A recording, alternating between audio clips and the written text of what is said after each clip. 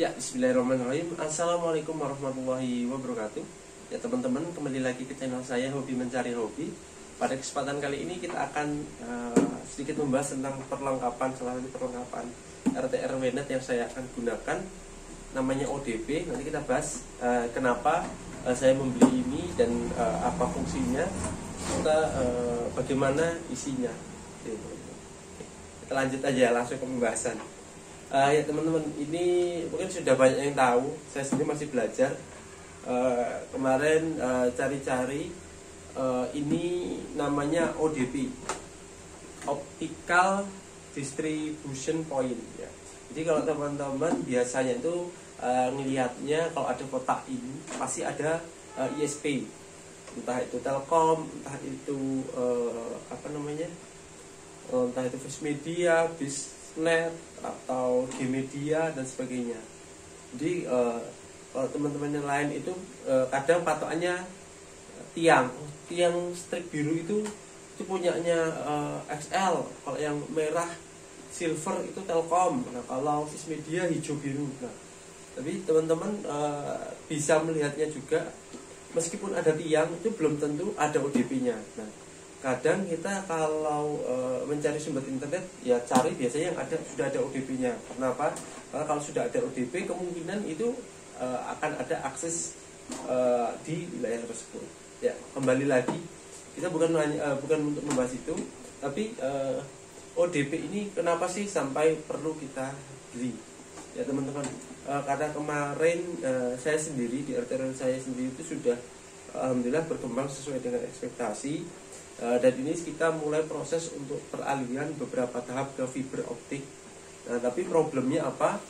E, problem yang saya rasakan itu e, beberapa untuk kabel kan kita menggunakan media converter ya seperti ini teman-teman sudah tahu media converter lalu ini kabel hitamnya ini e, namanya kabel drop core atau kabel fiber optik yang hitam outdoor dan biasanya ada kawat selingnya nah ketika itu mau masuk ke rumah dia uh, istilahnya kaku. Kaku uh, karena memang uh, model plastiknya beda. Nah kemarin uh, saya cari info ternyata ada uh, lagi namanya kabel petcore kabel yang warna kuning ini. Nah kebetulan saya kemarin baru beli dari seller Jakarta 15 uh, biji yang 20 meteran.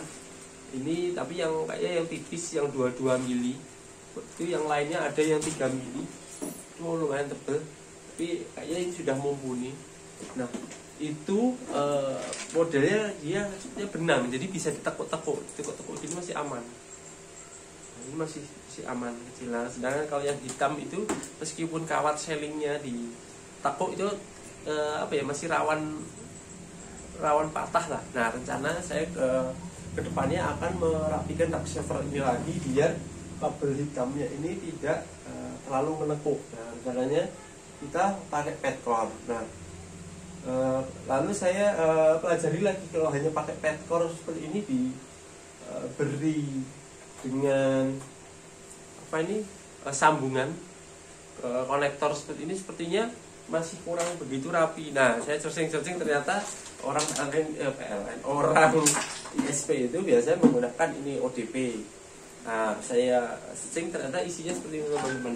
ODP itu ada berbagai model. Kalau yang model-model baru uh, yang kayak gini namanya kalau nggak salah model dompet ya.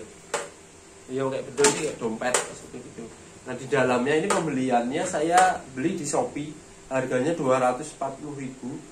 Uh, ini memang saya cari yang kosongan karena yang ada beberapa itu sudah sport yang kabel split.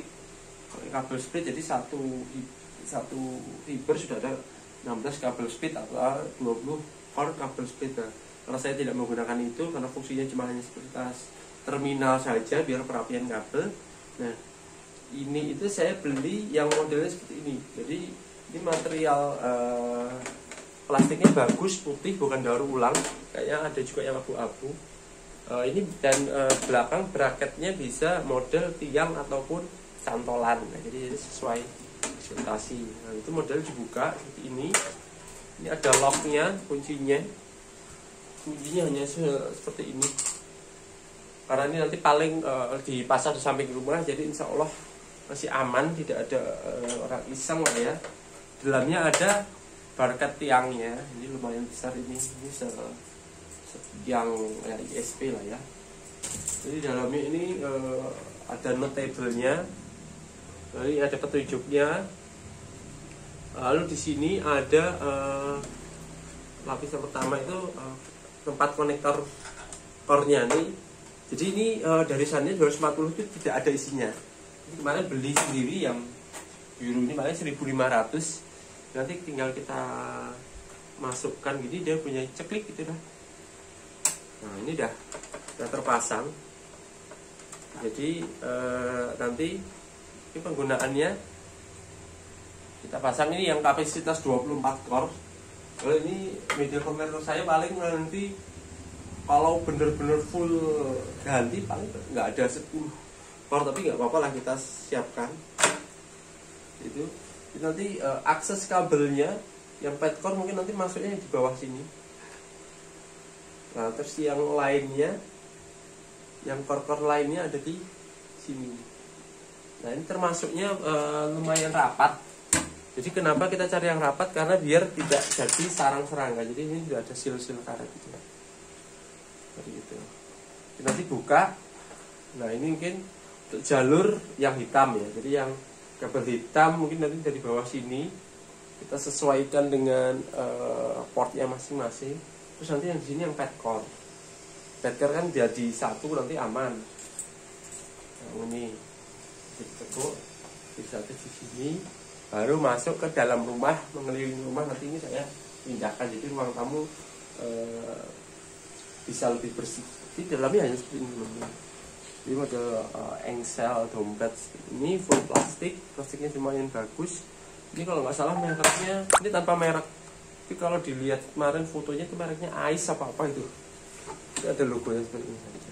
Mereknya juga Madein ini Madein Cina. Seperti itu. Jadi nanti kabel outlet kabel inlet. Nah ini ada ada nanti mungkin kalau kita sendiri kita balik ya kabel outlet sebagai inlet yang inlet sebagai outlet.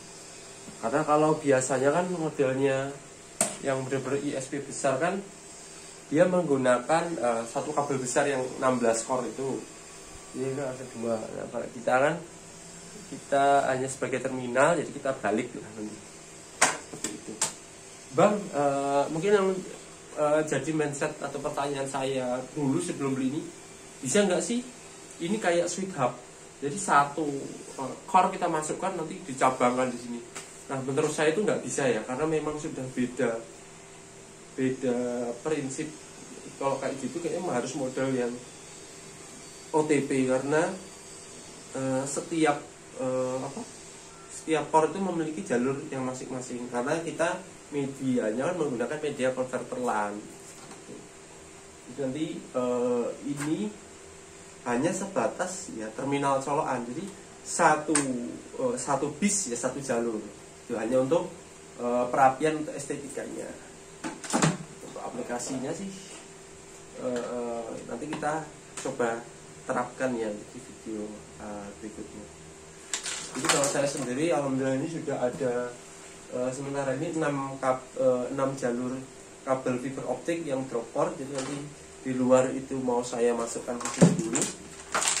Uh, nanti setelah itu uh, yang di dalam rumah sudah pakai pet core jadi lebih lebih rapi lah nanti kita lentur lah ya. ini. Kemarin uh, karena prediksi potongannya juga masih terlalu mepet. Nah, jadi ini juga udah udah mepet. Nah ini di atas ini berantakan nah, ini mau aja nanti harapannya di dalam itu sudah ada kabel kuning jadi lebih lebih lentur nah, ini kan nggak berani terlalu lekuk lah ya.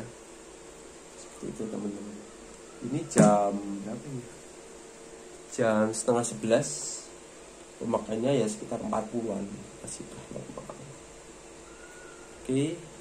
Seperti itu teman-teman. Uh, sedikit berbagi tentang ODP nanti kita uh, coba uh, sedikit dokumentasikan tentang pemasangan dan perapian akses Terima kasih. Assalamualaikum warahmatullahi wabarakatuh.